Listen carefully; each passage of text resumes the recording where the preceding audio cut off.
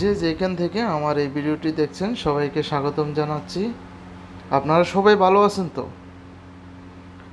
আচ্ছা জানাবেন।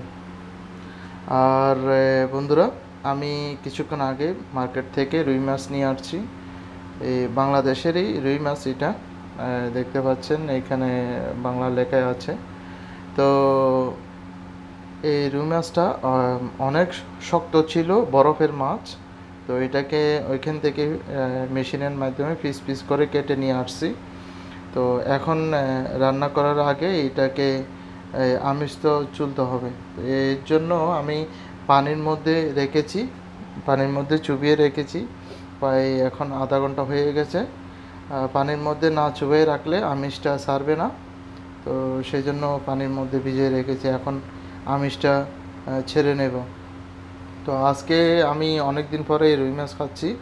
আজকে জমিয়ে রান্না করব রুই মাছের সাথে আরও নতুন তরকারি দিয়ে রান্না করব। তো সাথে থাকুন আশা করছি ভালো লাগবে। এদের জায়গাতে দেখেন সুন্দর লাগে। অনেকে চুলির বাস আপলোটা এক করে দেবো না? হুম, হুম, হুম, একসাথে জামা জড়িয়ে দেবো না আপলোড তো আমি এখন মাছের আমিষটা সেরে নেব। এখন একদম নরম হয়ে গেছে পানিতে ভিজে রাখার কারণে। এই যে এখন একদম সংক্ষেপে আমিষটা উঠে যাচ্ছে।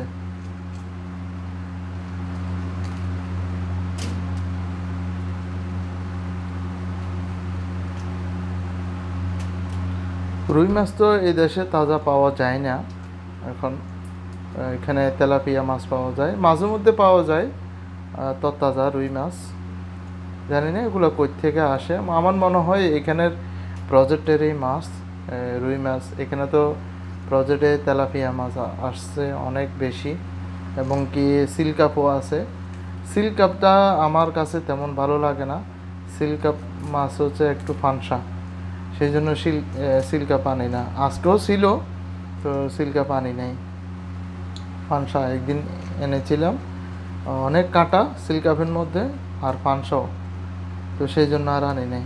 তেলাপিয়া ছিল তেমন ভালো ছিল না, সেই জন্য তেলাপিয়াও নিই নাই। তো পরে ভাবলাম অনেক দিন পর অনেক দিন হয়েছে রুই মাছ খেয়েছি, আজকে রুই মাছ নিয়ে যাব। আমার আমিষ বাসা শেষ শেষ হয়ে গেছে। এখন হলুদ লবণ দিয়ে এটাকে একটু দিয়ে নেব, গরম পানি দিয়ে। হলুদ দিয়ে দিয়েছি, লবণ দিচ্ছি। পানি দিয়ে। গরম পানি দিচ্ছি এগুলো লাগে। বন্ধুরা, মাছটা পরিষ্কার করা শেষ। এখন হলুদ দিয়ে দেব, ভাজি করে নেব।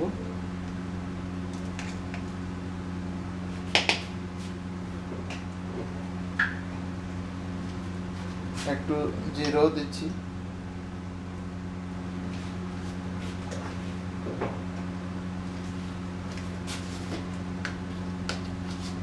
লবণ দিচ্ছি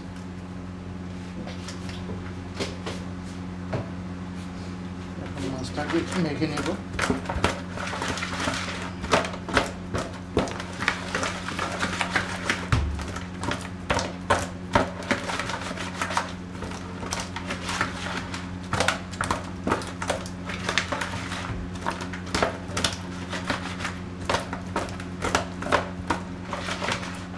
হয়ে গেছে দেখছেন?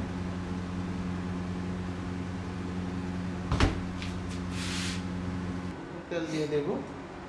মাছটা ফ্রাই করে নেব।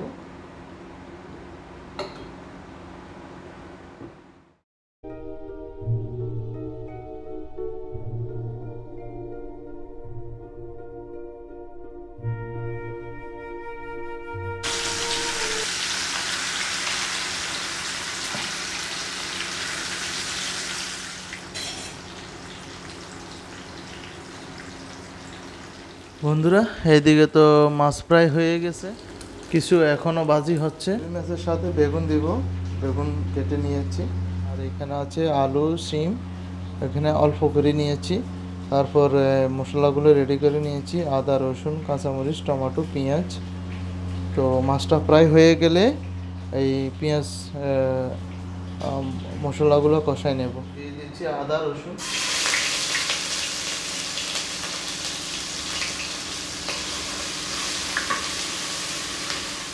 এখন পেঁয়াজ আর টমেটো দিয়ে দেবো, সাথে কাঁচামরিচও দিয়ে দেবো।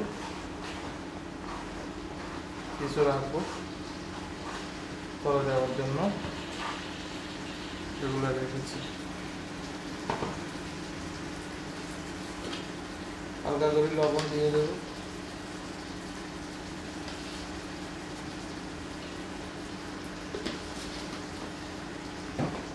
ঢাকনা দিয়ে দেখে দিলে তাড়াতাড়ি সিদ্ধ হয়ে যাবে।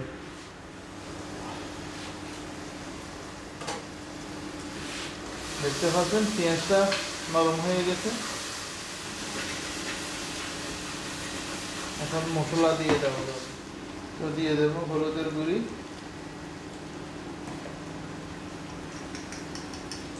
জিরের গুঁড়ি। গোলমরিচ। একটু মিক্স পাউডার। ধনিয়ার গুঁড়া।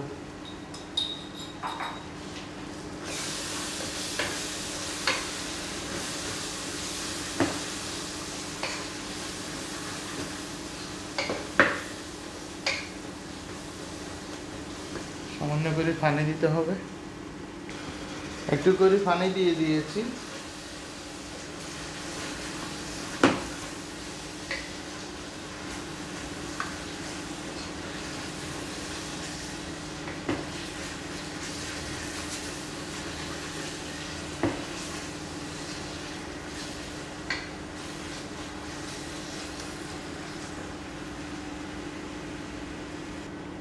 মশলা কষানো হয়ে গেছে, এখন আলু আর শিম দিয়ে দেব।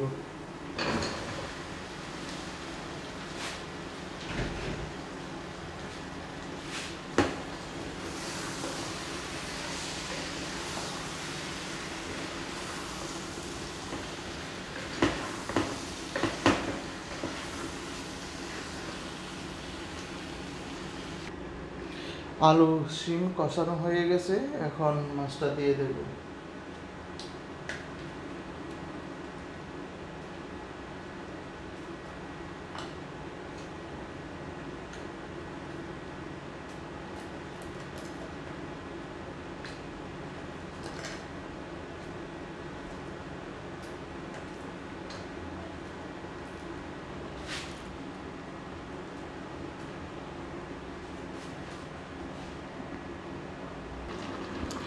এখন আরও একটু পানি দিয়ে দেব।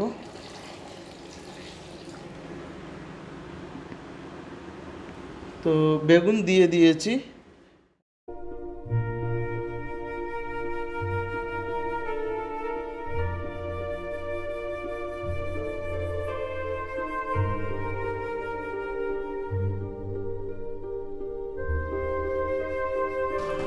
তো রান্না শেষ পর্যায়ে এখন দিয়ে দিচ্ছি ধনিয়া। ধনিয়া পাতা দিয়ে নামিয়ে ফেলব। নামিয়ে খাওয়া দাওয়া শুরু করব।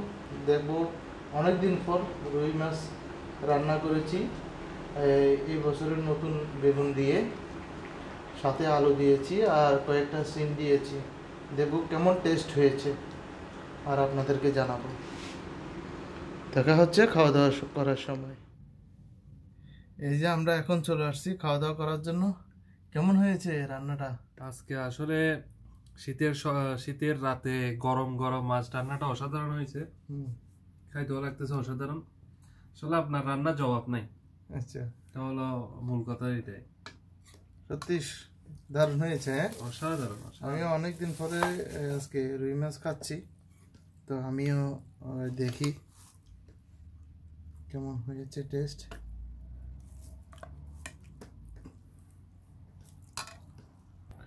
তো ভাত তো নিয়ে নিয়েছি রুই মাছও নিয়েছি, এখন নিতে ভেঙে গেছে রুই মাছটা, তো লেবু দিয়ে খাব।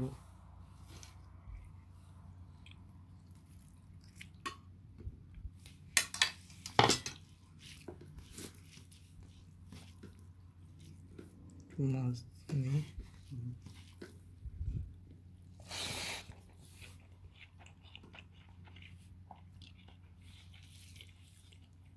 হুম।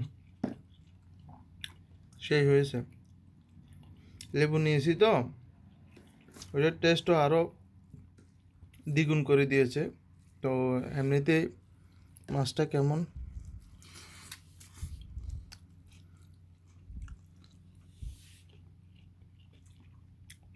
হুম মাছের ভিতরে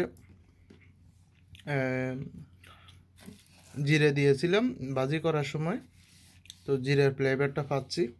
আর তেল টয়েস ঠিক মতো গেছে। অসাধারণ। শেষ করছি এখানে। দেখা হবে পরবর্তী ভিডিওতে।